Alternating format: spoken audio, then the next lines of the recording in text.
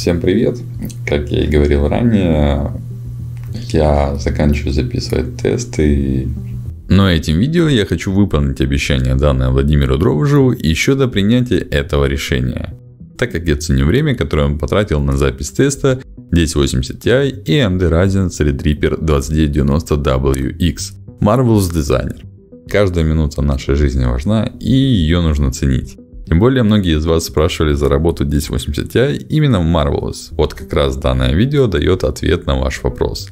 Насчет моего решения, я просто решил сосредоточиться только на 3D уроках для моего канала. Поскольку запись референсов на игры, видео Sculpt Test Streams PS4 и различные тесты требуют много времени и сейчас не имеют смысла для меня. Ведь когда я начал записывать тест по Arnold Render, я столкнулся с множеством проблем, решение которых заняло у меня весь выходной день. И я подумал, а зачем мне все это? Ведь больше пользы от этого не приносит, в отличие от хороших уроков. Я хочу создавать больше полезных уроков и только переводы ИИ. И хочу тратить свое свободное время на изучение чего-то нового в Blender и других программ, рендеринг и так далее. Потом всем этим делиться с вами. Ведь я хочу продолжить записывать уроки по тем темам, которые начал и которые висят в очереди, но все их безумно ждут. Я думаю, вы понимаете, о чем я говорю.